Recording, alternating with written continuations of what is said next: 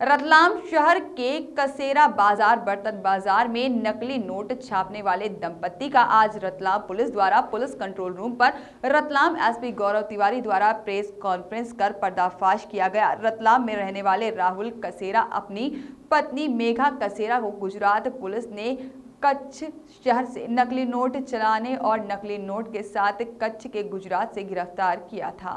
जिसकी जानकारी रतलाम पुलिस को सोशल मीडिया के माध्यम से पता चली थी, उसके बाद रतलाम पुलिस ने भी राहुल कसेरे के घर पर छापा मार कर नोट छापने के उपकरण, लैपटॉप, प्रिंटर, नोट के कागज़, नकली नोट 2000 व 500 के नोट और 900 ग्राम ज्वेलरी, असली चांदी और आभूषण जब्त कर रतलाम के माणक चौक थाने पर मामला पंजीबद्ध किया था और रतलाम के दंपति अभी भी गुजरात पुलिस की कस्टडी और रिमांड पर है। रिमांड सात दिन का है, जहाँ पर सात दिन के बाद रतलाम पुलिस उन्हें प्रोटेक्शन वारंट के ज़रिए रतलाम भी लाएगी तथा आगे नकली नोट के रैकेट का मामला भी पता करेगी। उक्त जानकारी रतलाम एसपी गौरव तिवारी द्वारा प्रेस वार्ता में बताई गई है।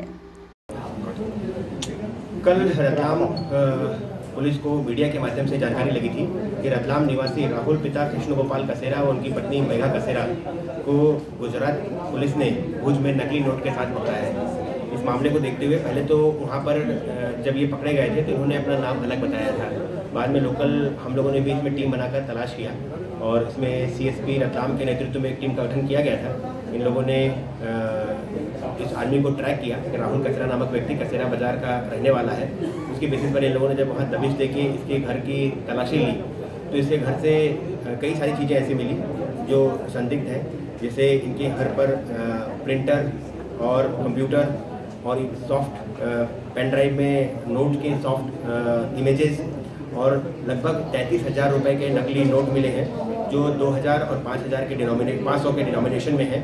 इसके अलावा इनके हाथ नोट काउंट करने की मशीन और नोट नोट पे जो सीरियल नंबर आते हैं, वो भी प्रिंट करने की मशीन प्लस इसके अलावा इनके पास से ब्लैंक पेजेस जो कि है तो ए फोर साइज़ के, लेकिन उनका थिकनेस थोड़ा ज़्यादा है नोट के बराबर के हैं थिकनेस उस तरह के पेजेस इनके पास से मिले हैं, लगभग थाउज़ेंड की संख्या में। इसके अलावा वाटर मार्क लगाने के स्टैम्प पैड नंबर छापने वाली सील प्लस पेपर को cut, cut paper cutting machine मिले हैं इनके पास से नोट गिनने की मशीन मिली है।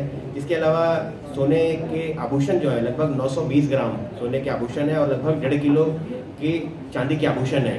तो इन चीज़ों को पुलिस ने जब्त किया है और इनके खिलाफ थाना माड़क चौक में अपराध क्रमांक एक सौ पाँच धारा 489 ए 489 सी और 489 डी आईपीसी के अंतर्गत मामला पंजीबद्ध किया गया है, राहुल कसेरा और मेघा कसेरा के खिलाफ। ये दोनों ही गुजरात पुलिस ने इन्हें गिरफ़्तार किया है। इनको बहुत जल्दी हम लोग लेके आएँगे प्रोडक्शन वारंट पे और इनसे विस्तृत पूछताछ की जाएगी।